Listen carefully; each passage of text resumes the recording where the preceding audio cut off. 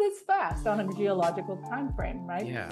So that's that's one thing I like to think of with time is that we think in really long time scales, but some processes you wouldn't expect actually are really short. Hmm. So, for example, the way our moon formed was that some sort of Mars-sized body, usually called Theia, smashed into Earth on a glancing impact, and that flung out a bunch of debris from both Theia and Earth, the proto-Earth at the time, and created a disk around the Earth. And you could ask the question, how long did it take that disk to become the moon? Yeah. And every time I say this answer to someone, they're like, and the answer is 40 years. Whoa. Yeah.